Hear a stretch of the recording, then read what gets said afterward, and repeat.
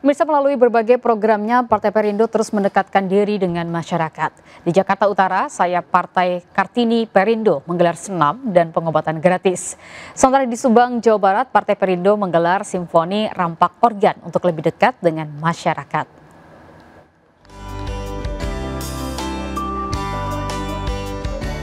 Puluhan mak-mak di RW 15 Kelurahan Lagua, Kecamatan Koja, Jakarta Utara sangat antusias mengikuti senam sehat yang digelar DPD Kartini Perindo dan DPD Partai Perindo Jakarta Utara. Selain senam sehat, Kartini Perindo juga menggelar layanan kesehatan gratis secara door-to-door -door bagi warga yang membutuhkan. Kegiatan ini dalam rangka sesuai dengan moto kita untuk Jakarta Utara sehat dan sejahtera.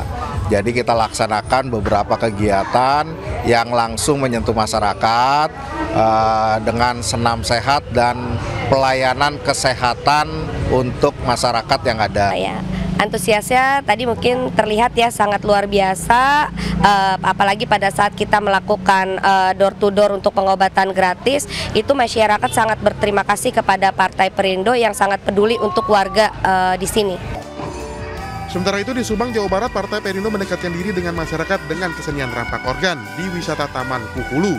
Pagelaran kesenian ini digelar oleh Bacalek DPR RI Partai Perindo Oni Suwarman dan DPD Partai Perindo Kabupaten Subang.